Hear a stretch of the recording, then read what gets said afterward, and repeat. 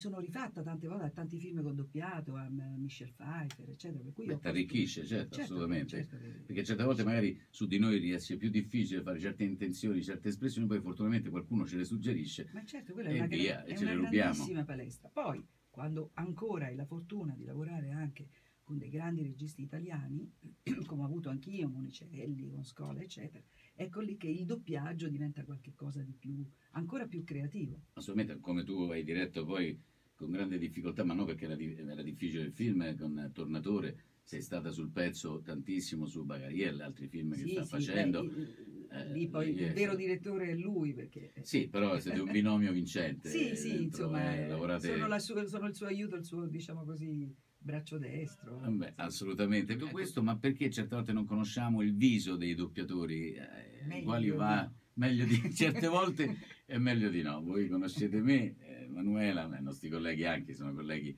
Vai, ma è meglio rimanere nell'anonimato da quel punto di sì, vista. certo, anche perché poi potrebbe succedere che quando vai al cinema e conosci la voce, Eh, eh, fai c'è una sorta di... È la difficoltà che ho avuto io all'inizio, Eh. che dicono, oddio, sento questa e te vedo la faccia tua, Eh, non ci credo più. Ho dovuto superarla questa Sì. cosa tantissimo. All'inizio ho fatto pure sotto falso nome, un paio di ordinaria.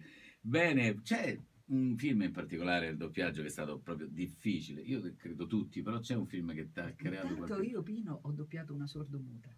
Ah, e quella è la domanda che avrei fatto proprio del film di Lattuada, Le farò da padre. Tu hai doppiato, vabbè, apriamola questa...